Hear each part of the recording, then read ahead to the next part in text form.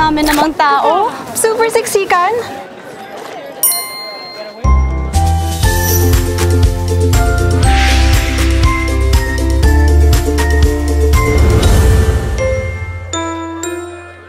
Barbecue po? Ay, wala na, ne. Yan ang hashtag Lugay Effect ko. Food craving, salt.